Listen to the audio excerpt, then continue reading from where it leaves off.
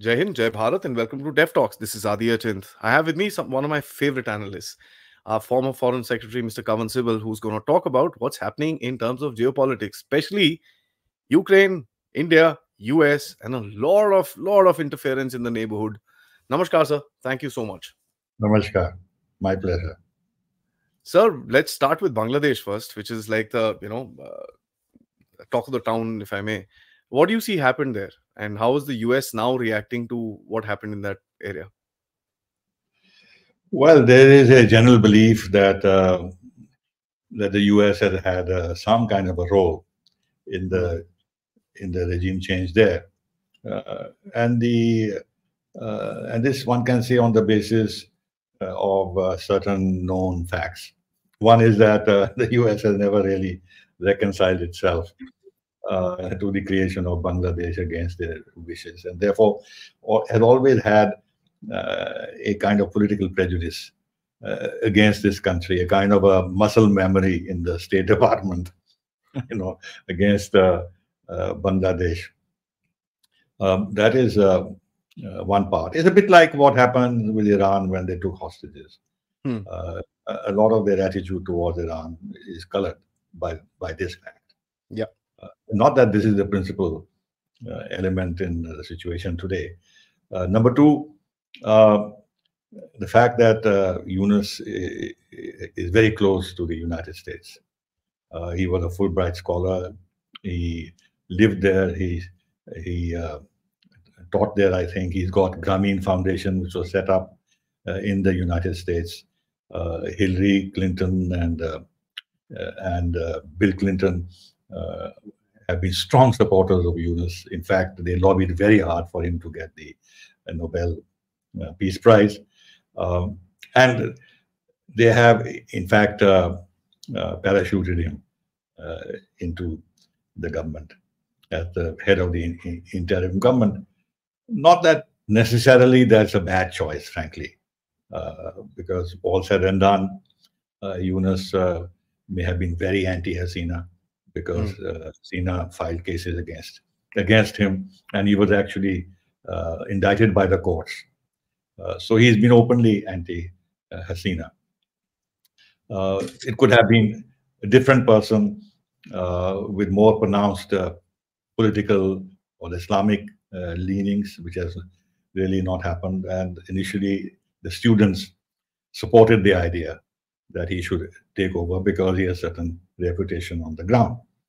And then uh, the fact that Tariq Rahman is uh, has got political asylum in the UK uh, clearly shows that uh, there is also UK uh, hand in it mm. in the change that has taken place. the United States in the past, quite surprisingly, was against the trial of for war crimes of those uh, people who collaborated with the Pakistani military in its genocidal acts in Bangladesh. In fact, to publicly uh, cautioned her against mm. this. Now, why they should uh, do that?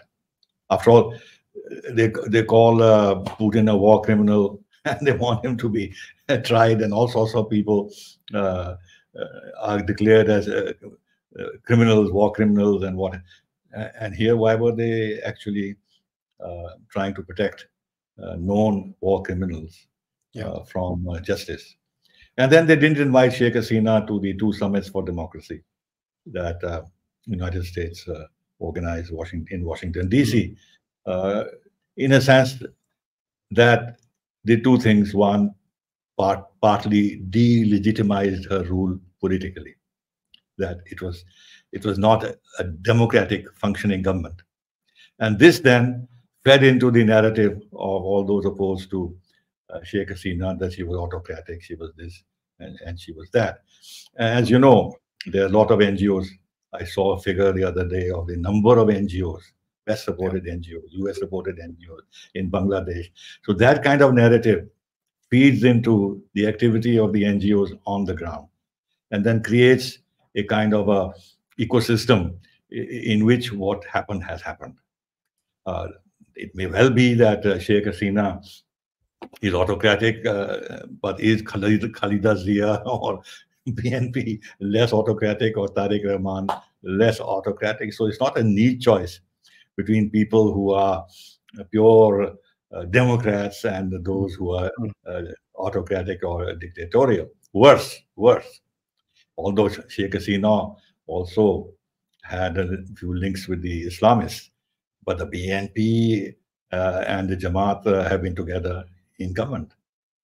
Uh, so now what surprises me is that a couple of things that the United States doesn't seem to be worried about the Jamaat exerting more and more influence in, in politics because you know like the muslim brotherhood in uh, egypt egypt even even though egypt had a kind of a secular tradition if you like from the time of nasser a very anti-muslim brotherhood and everything else uh, but they finally were able to uh, gain power till they over uh, stretch them until, of course, they made very serious mistakes and the public turned against them and they were ousted by the military regime. What I mean is that it's a well organized Islamist type of force on the ground can always exert influence on politics, which is much yeah. greater than their numbers uh, justify.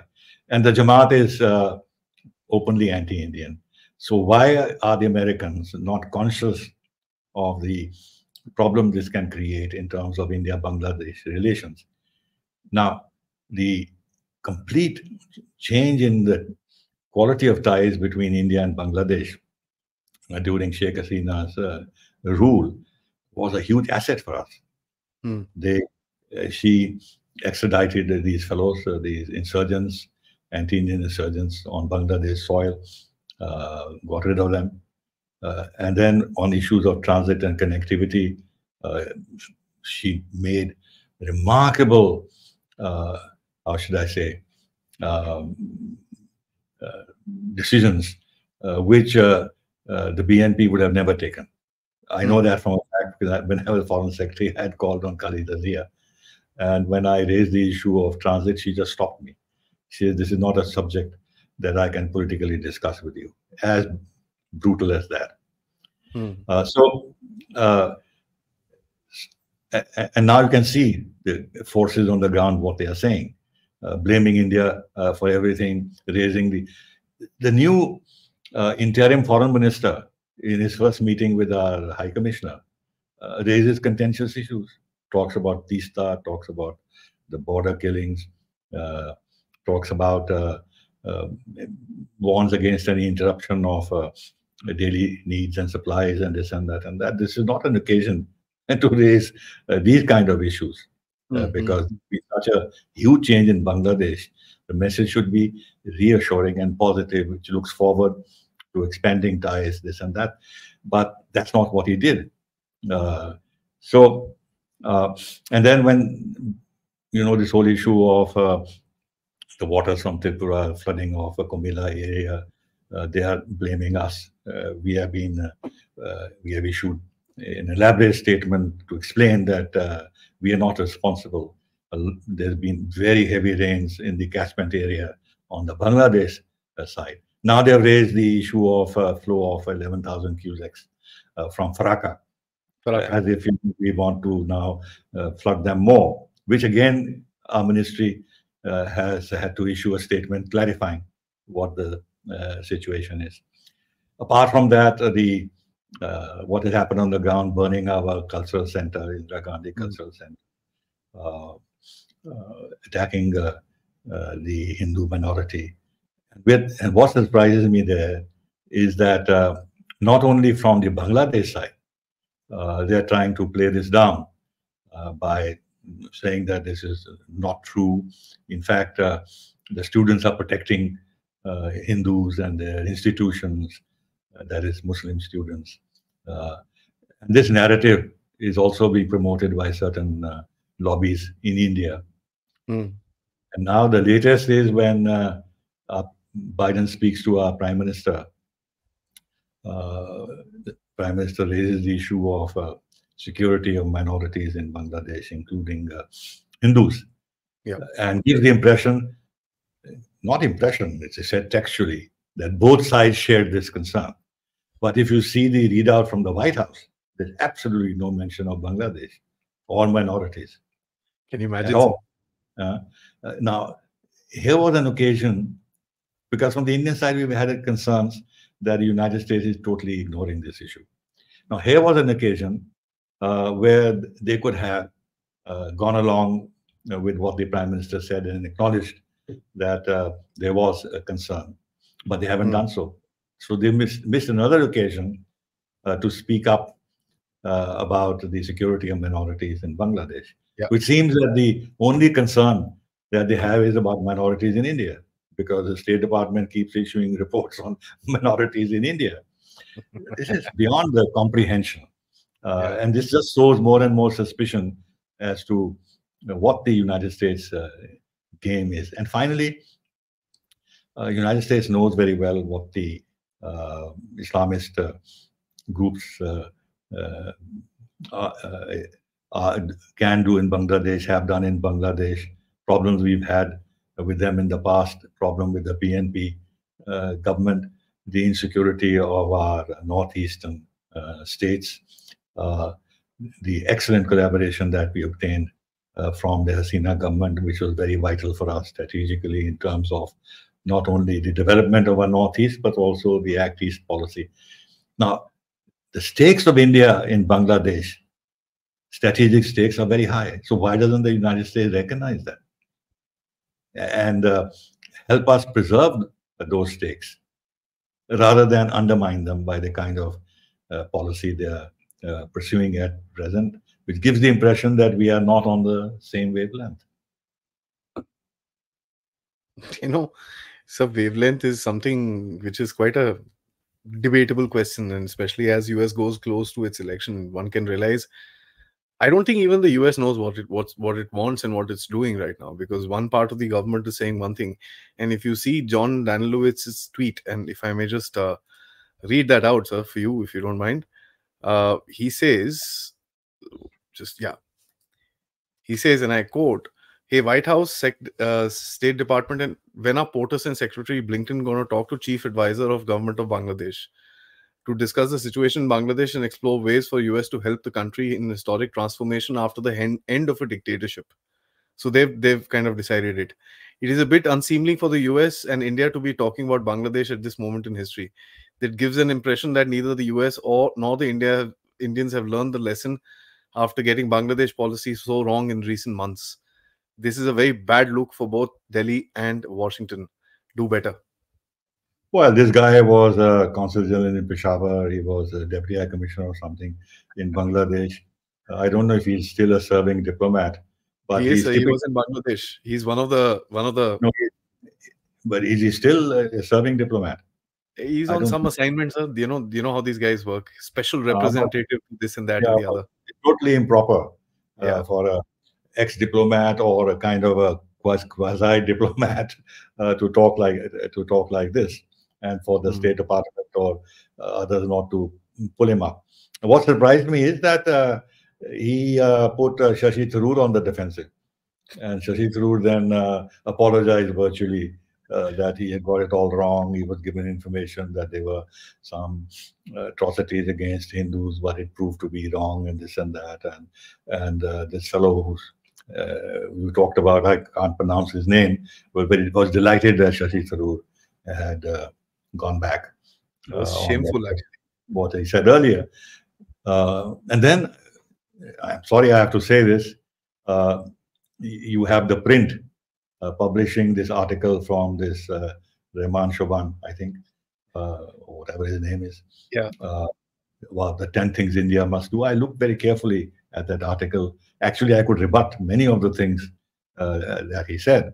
Um, and uh, and of course, the central point of, was that uh, the minorities in Bangladesh are safer than minorities in India. And I was surprised that Shekhar Gupta actually retweeted that and amplified that message. And Rand Corporation fellow immediately picks it up and amplifies it further. So I don't know why we are also uh, become a party to this kind of Bangladeshi propaganda. I, I, can understand why it is. Because since Modi has raised the issue of Hindus, And since uh, Modi uh, and BJP are Hindutva types, and therefore you have to counter them by saying that you know the problem of minorities in India is worse than the problem of uh, minorities in Bangladesh. I mean, yeah. this kind of politics that journalists journalists play in this country is sad. Extremely so. Hmm. You know, you don't play on lives of people. Let's let's kind of face that, and it's it's quite funny. Uh, sir, I want to talk to you. Let's let's kind of zoom out of of the game. Uh, you, you know, this whole thing has been done to kind of create that hegemony, sort of a structure that the US wants in the region. Uh, a lot of people kind of blame China in the middle of it, but you know, I think that that perspective has changed, and the feedback from China is China is very worried about this one because students on the road, regime change, whoa, those are things that they don't want to hear. How do you think the Chinese are going to respond to this? This is a complete well, rollback from China of China from Bangladesh. It's complete switch off. Of couple of things. Uh, uh, Sheikh Hasina seemed to have suggested that during her uh, last visit to Beijing, she didn't get what she wanted. Yeah. And uh, what the Chinese offered in terms of uh, financial support was a pittance compared to what her expectation was. Hmm. Uh, and then, of course, the belief, belief that she cut short her visit because uh, she didn't, she was not received well, though ultimately Xi Jinping met her. But her principal interlocutor was the prime minister of China. that's one part. Uh, the other part is that uh, for uh, China, even if it is not directly involved in the uh, situation, uh, if India uh, receives a blow in Bangladesh, it is to their advantage. the whole Act East policy, you know, becomes very difficult uh, to implement, gets very complicated. Uh, the northeast area, which is a very sensitive area for us, in which the Ch Chinese have interfered in the past, uh, becomes uh, a potential ground for uh, calibrated interference uh, by them. Mm. The situation in Myanmar, in any case, is, is, is, troubling for everyone, including China. But China has the resources and the, and the manner in which they operate, they can take advantage of these unstable uh, situations. Uh, they have a lot of money to throw. They can supply arms. Uh, they have ways also to um, promote uh, certain groups to advance their interests. they don't do it very openly, unlike the Americans and the West. They do it more subtly. and then, you know, after all, Arunachal Pradesh is very much part of our Northeast. So if their if their India is a bit uh, destabilized, uh, they will not see any. They will see some virtue uh, hmm. in that, and then at a more international level, uh, it, it, it would appear that India has received the rebuff. It can't handle its periphery, um, and also if the impression in India in some circles is that the Americans are uh, not uh, uh, cooperative and are willing to uh, accept a blow to India's strategic interests, then what impact would this have on the developing India-US ties, Quad and Indo-Pacific and everything else? Would that then create some suspicion and wrinkles and mistrust? And if it does, it's to China's advantage. So there can be many subtle ways in which China uh, can uh, profit uh, uh from the from the situation. And then finally, uh, you know, uh, Jamaat and this and that, these people, they've always been very pro-China. Uh, uh so, uh, and there's always this uh, this part of the Bangladesh political establishment, which, like in the case of other neighbors, wants to bring in China to balance India. Mm. After all, even under Sheikh Hasina, I mean, we need not be that starry-eyed uh, about her. Uh, she brought in China in a big way. Yep. Uh, the biggest she defense did. partner and gave her project sports, this and that. Um, so, and I have and I have said that rightly or wrongly that uh, he, he would have done that in order to uh, placate and manage those lobbies uh, within Bangladesh, including in our own party, mm. uh, hmm. who may have wanted to uh, keep the China card in their hands right. in uh, dealing with India, and then projected as a kind of a more balanced uh, Bangladesh foreign policy that they were not selling every, they're not becoming stooges of India because they're bringing uh, China in. I remember this Bhashani fellow a long time ago. he's, he's, quite very pro-Chinese, this Maulana hmm. Bhashani. Mm, mm, So, so there are those uh, elements uh, in in uh, Bangladesh which the Chinese, with, with a lot more in their hands in terms of financial resources and propaganda tools, can take advantage of. Hmm. That is indeed interesting. Let's kind of zoom out a little further. So Modi Saab also went to Ukraine, and uh, uh, it was amazing that uh, that T-shirt wearing clown, if I may. I'm sorry if I'm using that language, but there is no way else to describe a person who basically tries to insult a guest coming to your house. Well, you know, I have said a lot about this. Uh, he's very spoiled uh, by yeah. the internet, by the West. He's been given tremendous uh, exposure.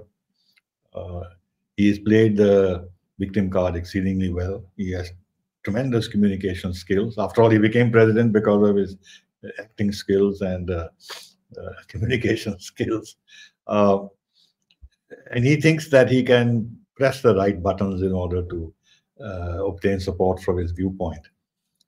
And they've gone all out in the West to mm. give him full exposure, even in areas which actually diminish his political stature. Appearing on the Vogue magazine with his wife, uh, going to the Eurovision contest, going to Cannes Film Festival, apart from, of course, addressing the uh, US Congress. And then uh, Mr. Starmer, the British Prime Minister, in his first cabinet meeting, first cabinet meeting, he invites uh, Zelensky to uh, participate, uh, which has given Zelensky such a sense of entitlement that he's been insulting even his biggest benefactors. Americans, yeah. The Americans, British, British Defense Secretary in the past. look at the statement he made. Uh, the French Macron, the Polish prime minister at that time, the German uh, chancellor, uh, he's been uh, he's been uh, lecturing them. You're not doing enough. You need to do enough. We are not only fighting for ourselves. We are fighting for you. You must accept this responsibility, etc., etc. So, in this broad background, for him to then to have a view on uh, our prime minister's uh, uh, role in the situation and what we can do uh, is understandable that he, as has he's been talking down to others, uh, in a sense, he's just talked down uh, at, our, at our prime minister, uh, you know, saying that uh, again reiterating uh, something which we explained time and again, time and again about buying oil from Russia. So what's the point in raising this and trying to uh, morally put us uh on the defensive and then talking about uh, his peace plan as if that's the only peace plan uh, that should be accepted by the international community and then going on to say that, uh, look, you know, if you're interested in holding the next peace summit, of course, we would welcome it um, because of the global south, etc., etc. But then, frankly, uh, you have to join the first communique. Uh, I mean, it's, it's laying conditions uh, on uh, for India if it was interested in promoting uh, dialogue and, and diplomacy. This is this is immature. This is not serious uh, diplomacy. But he thinks he can he can uh, he can uh, get away with it. Though, mind you, there's something that needs to be said. if you look at the joint statement and our foreign minister's press conference, uh, we did not yield on substance at all. Even on the issue of the peace summit, the minister said very clearly that not the only game in town. There can be other ways of addressing peace. Uh, and all stakeholders should be there. There should be an innovative way of uh, finding a, a, solution. Yeah. Uh, uh so, and then uh, the joint statement uh, refers to the Ukraine conflict, but interestingly, the word Russia is not mentioned. Yes, we got our way. Got what whatever we wanted. It's about diplomacy. Sitting in Kiev in a joint statement on the central issue for Ukraine, yeah. and its and its uh, seething hatred for Russia. Uh, the word Russia is not mentioned. Yeah, eh, I mean that that I think was a superb shot. that needs a pat pat on the back uh, as far as this is concerned. I agree with you.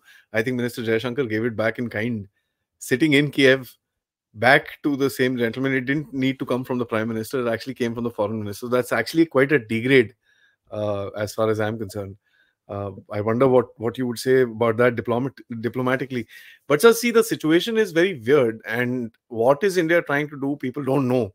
My perception is you're just trying to create a paradigm of a conversation uh, because you don't want to get into this muddy water of mediation. You need to have a place where you can actually say okay fine i'll pass messages and you know uh, reduce the tensions where things flare up. Would that something would you look at? So as a former diplomat who probably has done conflict negotiations as well how do you foresee this situation? I think uh, we were in a situation where uh, a visit to Ukraine or engaging Ukraine directly in this manner became almost inevitable.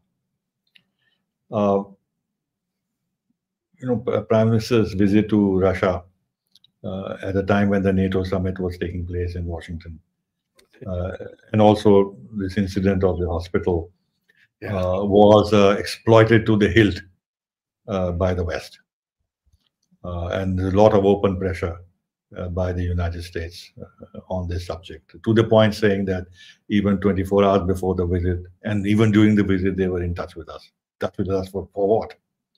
So uh, that's one. The other is that, uh, and of course, this forced the prime minister uh, to say a few things uh, in front of Putin, hmm. which was a bit of a lecturing to the Russian president reminding him that I had said that uh, today is not an era of war, and adding to that, that solutions cannot be found on the battlefield. And then expressing himself very strongly, very strongly on the killing of children in conflict. Now, Putin is a very seasoned diplomat.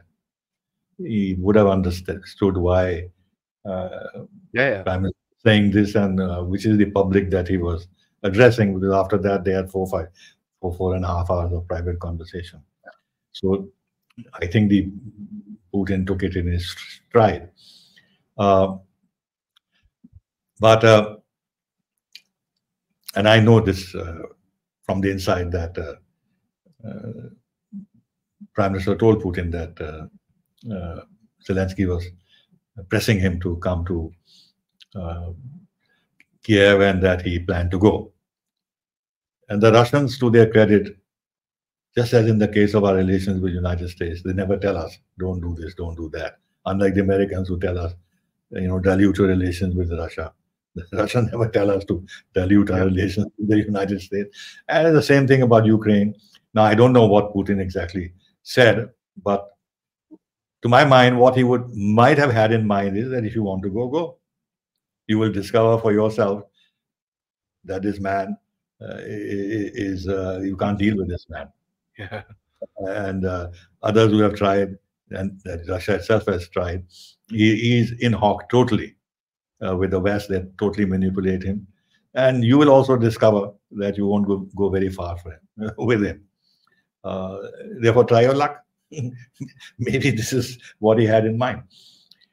I think uh, Prime Minister may have felt that uh, let me sort of get uh, the best off my back. Yeah. And the interesting thing is, which uh, hasn't been said before, but I was just thinking of it, is that once he has done this, then his hand is freer with regard to Russia. You see, earlier, you know, too much Russia, you know, you don't do this, you don't do that. And, you know, once he has done that and covered his flanks, then he can proceed and uh, deal with Russia even uh, more intensive, mm. intensively because you can always say that I believe in dialogue and diplomacy. I went there. I did my best. I'm still willing to do my best. If you want me to play a role, I'm willing to play a role. If you want me to pass messages, I'm willing to pass messages. But uh, no solution can be found unless the interests of all stakeholders are uh, accommodated and the solutions have to be innovative, which means it can't be on the basis of Zelensky's 10 point uh, peace mm. proposal. So maybe uh, at the end of the day, having, uh, let's say, taken the Americans, especially off our back, um, he can have a little more of a free hand in dealing with this Russia Ukraine conflict. That makes sense, sir. That makes a lot of sense. As a matter of hmm. fact, uh, you know, I would firmly believe that the, the Russians also would understand. Yeah, I mean, you guys also go deal with China and all that stuff. We all have our compulsions. Let's you know kind of not bring this in the middle. I think uh, they're they're they're pretty seasoned in their game. So I, I, as you say very clearly, that I don't see a backlash, as to say, from Russia. Uh, but so you know the the the, the other thing, the thing is that for the West, the fact that he embraced Putin became a geopolitical issue. Can you imagine? The diplomacy of the West. So he, he's he's made three embraces of uh, uh, Zelensky while in uh, uh Kiev, uh, also into a geopolitical issue for, for the West. So, so all the all the people that you and I both spar with, sir, if you know what I mean, you know, on, online. So, as a hmm. matter of fact, one of them actually uh, put out a tweet. Oh, so he he hugged Zelensky also. That means his hug has no meaning. So I tweeted and I said, You monkey, I have been saying you guys don't understand Indian foreign policy. Why do you want to wade into it? Now, the sheer factor that you've actually written this, that means you don't understand it. And you hmm. still comment on it. So this this whole superiority business needs to stop with you guys. And it's so funny, you know, it's uh it's amazing, but but so generally around the world, when you see as you're going close to the elections, if you see the rimland of the world, that is like literally lighting up on fire today uh, you know, you've got Ukraine, you've got Israel, which is, I mean, Israel, Lebanon, now that is starting up. Iran is doing something here and there. The Red Sea, you've got Pakistan, Iran, Afghanistan, that region, which is blowing up. You've got Myanmar, which has an issue, Bangladesh, which is now there. And recently, you have another court backed protest in Indonesia, as if we required anything else. We also had some stuff in Malaysia. We also have stuff in Indo- uh, in in, in uh, Thailand. Uh, if you continue this process, I think the next one big country after Indonesia should be Laos, Cambodia, or the big big fruit, which is China. So, what's happening here, sir? Well, it's, it's not as if uh, these things not happened before. I mean, Thailand has had a change of governments uh, very very often. Yeah, uh, and it's surprising that Thaksin runs away, then his sister becomes a president, and I don't know if she's run away or not. Then the daughter becomes the president. The army plays a very important role uh, yeah. in these things in, in Thailand. Uh, in, in, Indonesia, I think the new president, uh, the former defense minister, who's been sanctioned by the United States, uh, is is a bit of a thorn in the flesh, probably. But then, you know, our entire effort has been to, within uh, the Indo-Pacific concept and Quad uh, to somehow reach out to Indonesia mm. and bring them to the fold uh, of uh, the new strategies to contain China, if you like. So, to what extent disruptions or, or instability in Indonesia will make the task of the Americans themselves, apart from our own effort uh, to uh, to consolidate uh, the participation of Indonesia in the kind of forums that have been created with India, Australia, Indonesia forum, things like that. Um, so I think that is a bit, uh, bit uh, disruptive. Uh, but further afield, uh, uh, Vietnam is all right. I mean, Vietnam continues to play at both ends of the wicket. Uh, it has big problems with China, but it reached out to China. The new leader has just visited China, so they want to, despite all the problems in the South China Sea, they maintain this kind of a balance. Uh, Philippines uh, is having problems with China. the United States is backing the Philippines, but I think the the United States is very worried that the situation shouldn't, shouldn't go out of hand, which hmm. explains uh, why uh, uh, Jake Sullivan has gone yes. to China, about to go to China. He's uh, on the way, sir. He's on the way, which is unusual. Uh, with, with, a Biden administration, which is neither here nor there, which is actually United States is without uh, really a functional president. at this point in time, when the things are so fluid, uh, United States wouldn't want uh, confrontation with China, and that explains probably why uh, he, he, he's going there.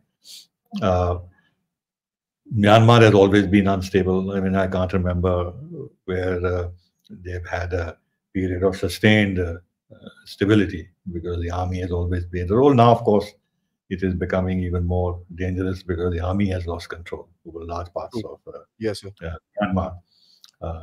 Pakistan, uh, well, has been in trouble for a long time, you know, which is not a bad thing uh, for us. Iran, if you notice, uh, the new Iranian uh, uh, foreign minister, Araghchi, mm. he's making very very um, accommodative noises. He, Iran doesn't want a, an open conflict with the United States. Mm. And Araghchi, if you read the back channel of uh, Burns, who's the CIA chief, uh, how they uh, actually uh, worked on the nuclear question uh, with Iran, Araghchi was his counterpart, and they, they and they had a very good equation. so I think he has been put in in place at this moment by Khamenei the spiritual leader in order to manage uh, the situation better and have a channel of dialogue open with the Americans. Uh, the, the, big problem is, uh, is Netanyahu and Israel. Uh, and the Americans, for domestic political reasons and in part ideological reasons, uh, they, they're not able to have a viable policy uh, they, they, they can see that what uh, Netanyahu is doing is eroding America's position in the entire Arab world uh, to in different degrees. And then, of course, puts into question uh, all that talk about American values and everything mm -hmm. else. Mm -hmm. But at the same time, they keep supplying them arms, more and more arms. so on the one hand, effort is to have some kind of a ceasefire. On the other hand, uh, they give uh, Netanyahu all the support he wants to reject the ceasefire. And the uh, attention has been taken away by the Western press on what is happening on the West Bank. Yeah. Uh, the, the Palestinians can say what they want. They can appear on RT and make their claims, but it doesn't develop into an international narrative. That will happen if the Western press takes it off takes it up, but they're not taking it up. Uh, so it's a very, very, it is potentially a very serious situation. The Americans have moved another aircraft carrier into the region, thinking that if the whole thing blows up, uh, then they have to be ready uh, to douse the fires. Uh, but it's it's sad that uh, they have allowed the situation uh, to go this far. Yes, sir. It's okay. I mean, Hamas is is, is a terrorist organization, no doubt.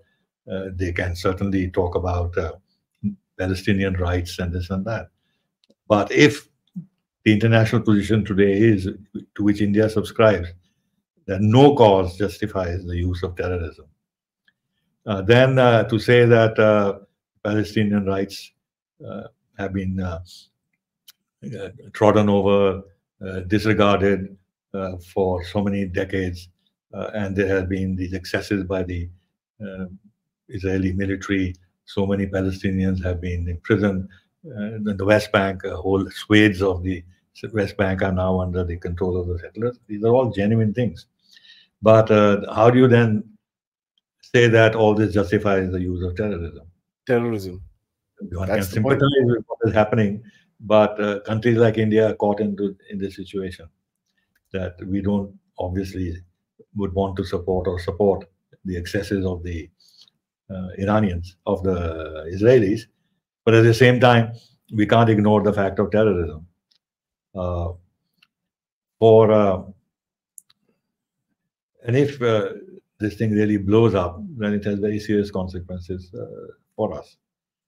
Our equities uh, in in this larger West Asian region can be very severely compromised if uh, if there is an all-out all-out conflict in this region. but the key basically is in the hands of the United States. Mm. Uh, but the United States doesn't want to talk to Iran. they don't have diplomatic ties. They they don't have the channels of communication. Uh, so it's a it's a very complex situation with no easy uh, solutions uh, in view last questions on Indian inter internal situation is that you see the Americans interfering with politicians, civil society. Although, yeah, they've been doing that for ages. I have worked in Delhi enough to see all these meetings happening in large five star hotels. They've been happening for decades now.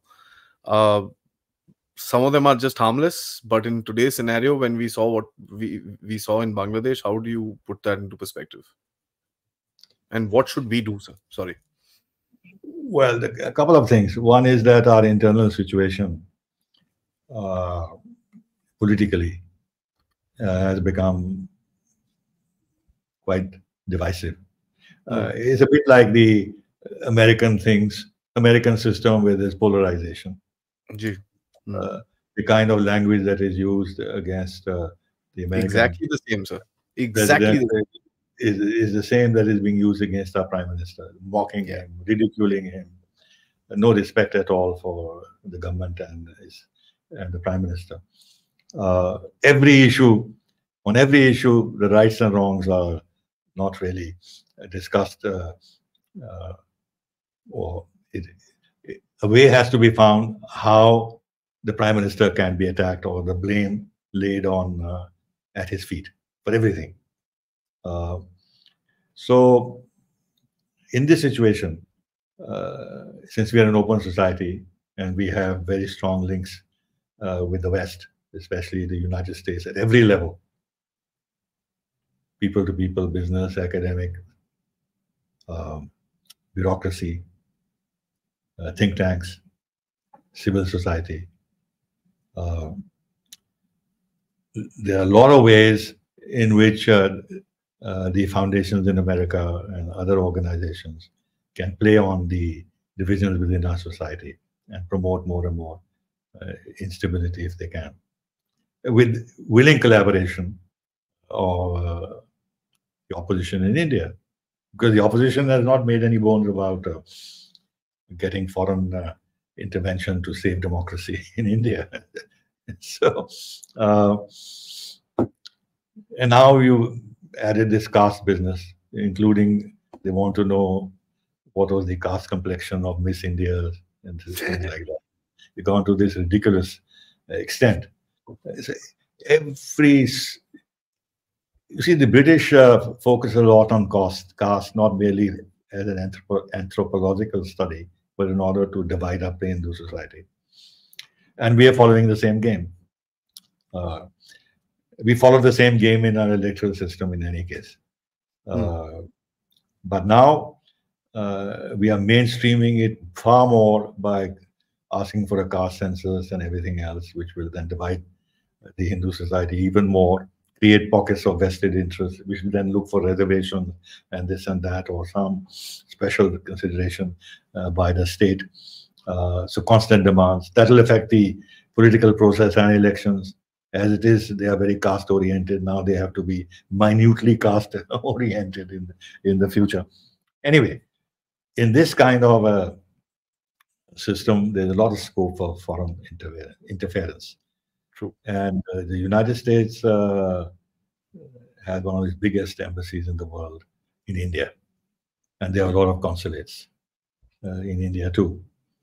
Uh, and they're very active in, uh, in keeping a tab on politics. the US Consul General in Hyderabad goes and meets Owaisi and talks about shared shared values and concerns. So I don't know what the shared values and concerns are with Owaisi. uh, it can't be foreign policy because on the issue of uh, uh, Israel and Gaza, uh, there's no shared value and concern between exactly uh, United States and uh, Owaisi. But the only shared concern could be about minorities, no? Uh, now you have the US diplomats going to Jammu and Kashmir and meeting the National Conference, who have now announced their agenda, which is to reverse all that the BJP uh, has done. Uh, now, this is what is on the surface. What may be behind the surface, uh, only our intelligence agencies would know. People like you and I uh, won't really know. How much of this is being monitored, what assessment we make uh, of this is not something uh, that one can have a, a considered, considered view on. But the long and short is, and mind you, this is a point I'd like to make. We have very clearly a whole host of US foundations and organizations who are working on creating more problems for India within. Mm. We have the entire media, uh, which is uh, anti-Modi, anti-BJP, anti-Hindutva. Both the official, before the official, uh, both at the official level, at the media level, at the think tank level, they are playing up and focusing on uh, issues of minorities and uh, uh, human rights and stuff like that. Now, see, no government can be totally immune uh, from what is widely the perspectives uh, that is shared by the society at large. Correct. The people who are involved in policy making, who have a view on external relations, who are well informed, if they have this kind of a jaundiced negative view of India, which they propagate all the time, then the governments can't say, no, no, this is their view, but it's not ours. No, it's, it's, it's, a, it's all intertwined. Yeah. Which is why we have to very carefully assess uh, the problems and dangers on the ground in terms of greater foreign interference in our political system and weakening the role of the center through more active subnational uh, diplomacy. And the issue of federalism that is being raised by the opposition constantly uh, is something which can be exploited as part of the subnational diplomacy of some external powers.